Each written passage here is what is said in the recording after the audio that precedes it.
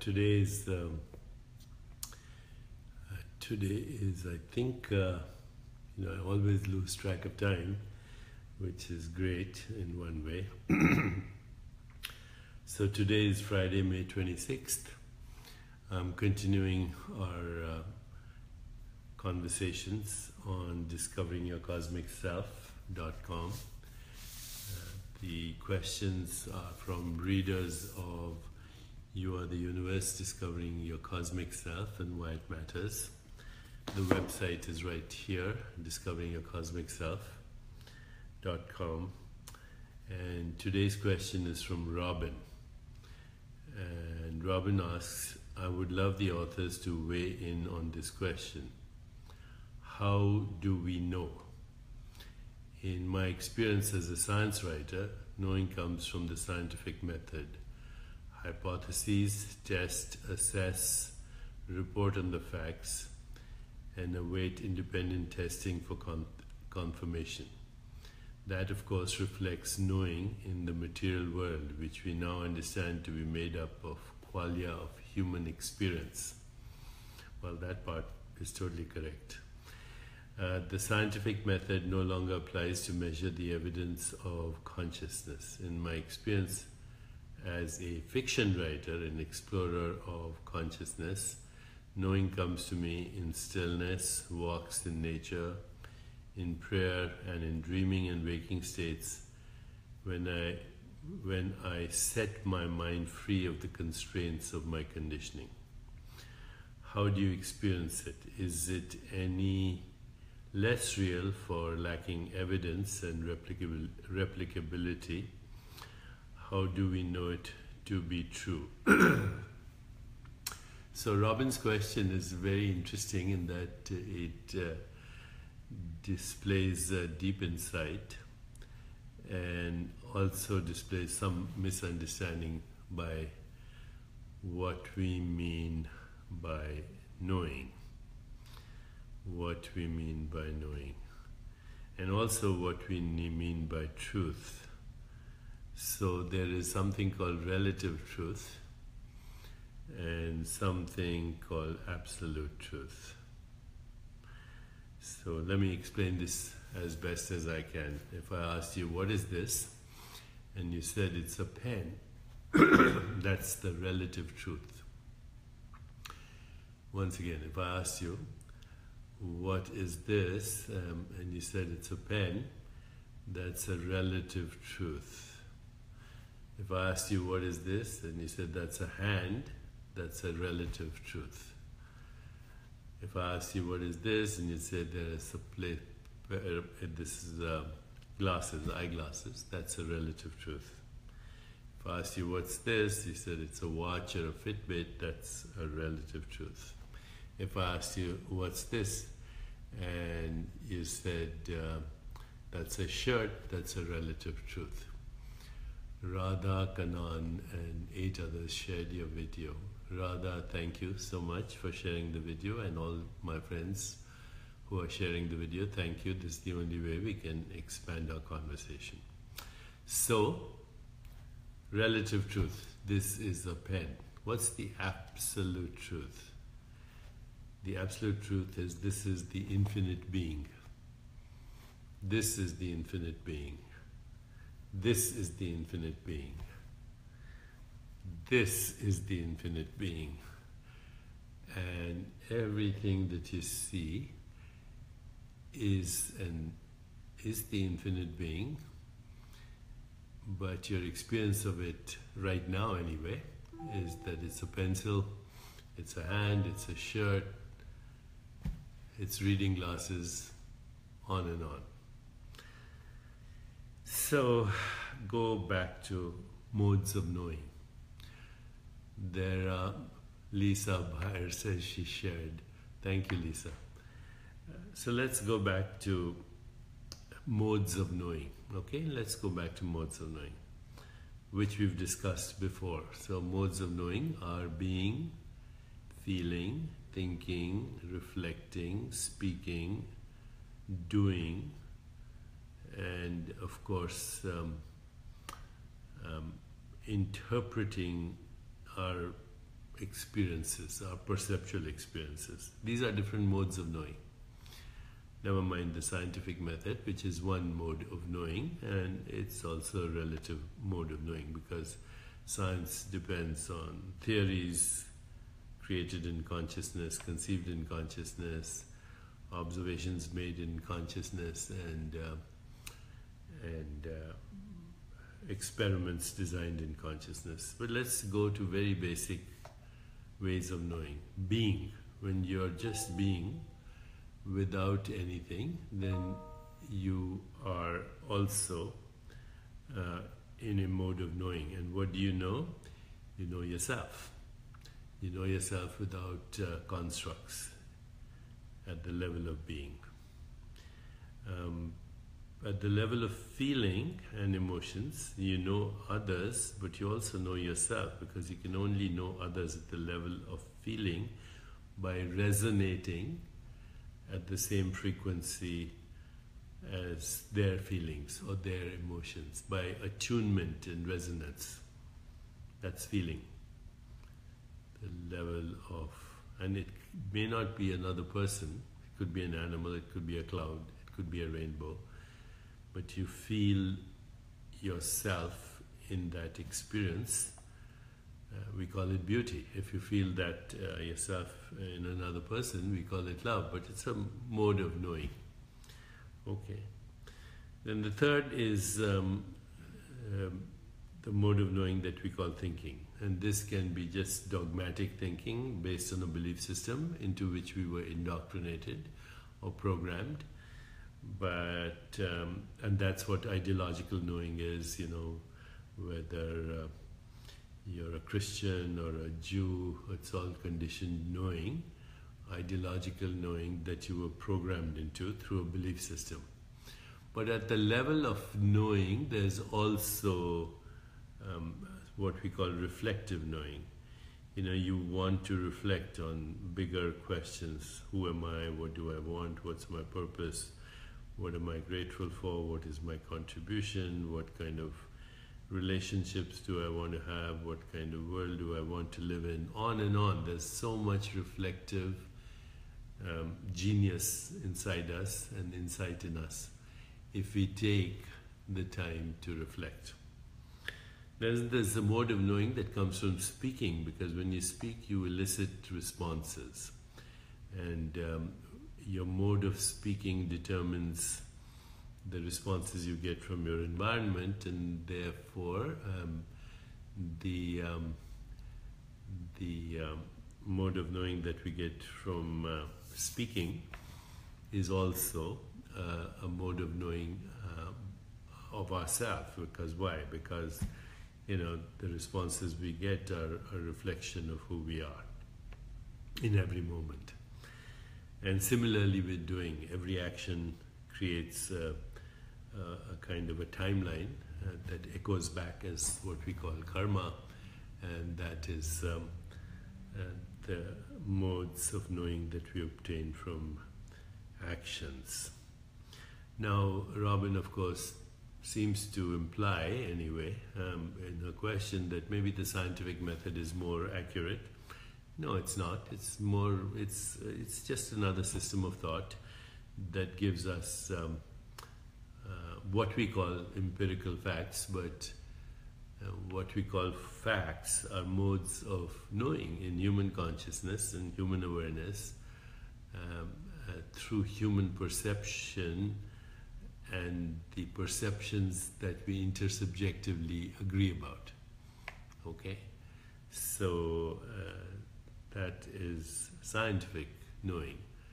Theological knowing comes from contemplative practices and studying the insights of those we call contemplatives.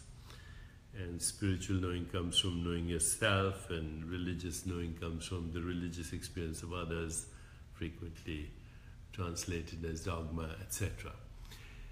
So you see, all these modes of knowing are relative modes of knowing. What is absolute knowing? Let's let's examine that uh, in a in a very precise manner. this is an object that I call a pen, an object that I call glasses, reading glasses, an object that I call nose, an object that I call hand.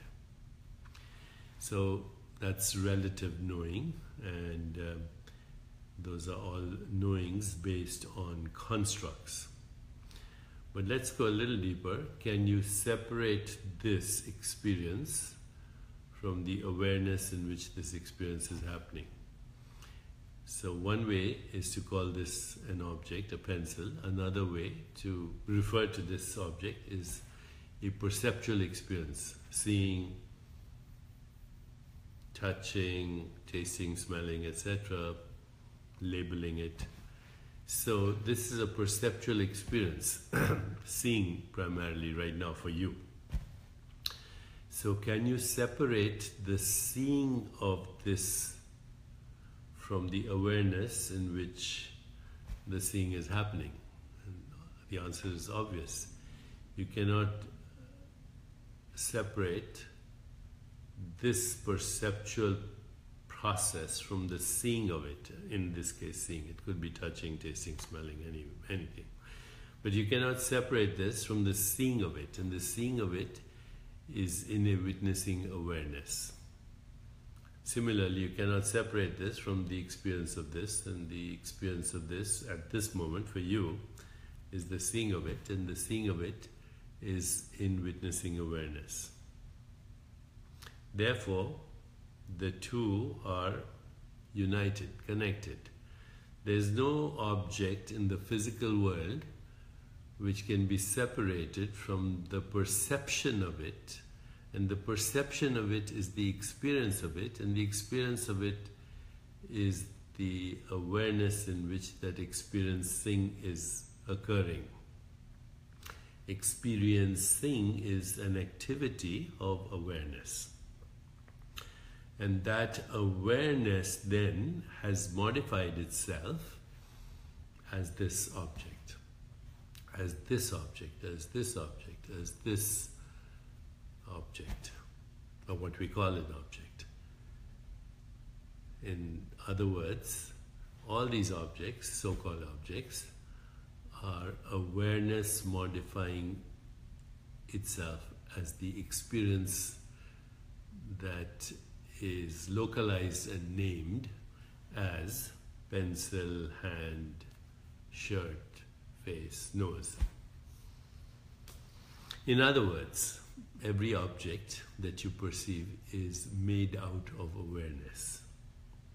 Awareness, consciousness, being, which has no boundaries and which cannot be localized and which is totally formless it is the light of awareness that brings every object into an experience of itself. You think you see a pencil or a watch or a pair of glasses or a nose or a hand, but it's the infinite that you perceive and you are that infinite awareness experiencing itself as that particular object. When you totally understand that, that there is only the infinite experiencing itself as all modes of knowing that are then labeled and given names and experienced as forms and phenomena, but it all the time is your own self. Not yourself as your ego mind, but yourself in which even the ego mind is a pattern of behavior, just like the body, or that which we call the body, is a pattern of behavior, or that which we call the universe is a pattern of behavior.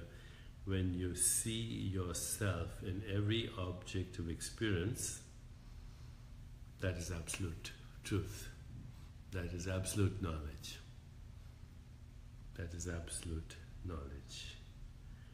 There is only you, the infinite being, experiencing itself as every object, every thought, every experience, every relationship, every circumstance, and the entire universe. That's why the title of the book is You Are the Universe. You are the universe. Aham Brahmasmi, the Sanskrit phrase, I am the universe, or Tattvamasi. You are that, all this is that, that alone is. And what is that? The infinite being. The infinite being at the heart of it. When you can experience that, that is also called unity consciousness. It's beyond divine consciousness, beyond cosmic consciousness. And it is you and the universe. So Ramana Maharishi, a great teacher, used to say, the world is illusion, Brahman is the only reality. And then he would also say that the world is Brahman try and understand the world is illusion. Illusion means it's a coming and going and arising and subsiding of um, experiences and an ever propagating eternal now. Um, so it's the movie, the screen is you on which the movie is being projected by the screen itself. So you you or perhaps you're sitting in the cinema looking at a movie and you forget that you're in the cinema because the movie is so good. So the world is the movie on the screen of our consciousness. And now, of course, the world um, includes the body mind as well. That's why it's illusion.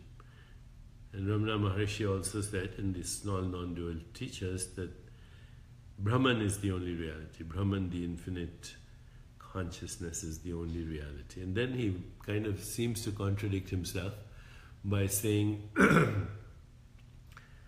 the world is Brahman. But he said already, the world is illusion.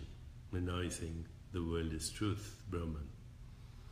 You see, this is the paradox, the contradiction, the seeming contradiction because there's nothing other than the infinite being, including its projections.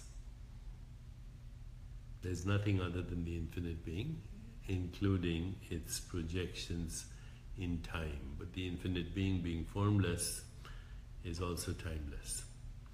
So these days I've been focusing a lot on the experience of what we call flow, and the flow experiences um, always timeless in the deep now, in the present.